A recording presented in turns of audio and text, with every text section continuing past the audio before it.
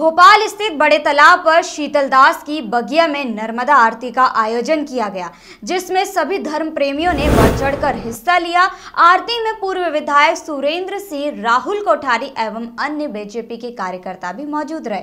आरती में मौजूद श्रद्धालुओं ने ना तो मास्क लगाया था, न ही सोशल डिस्टेंसिंग का पालन किया।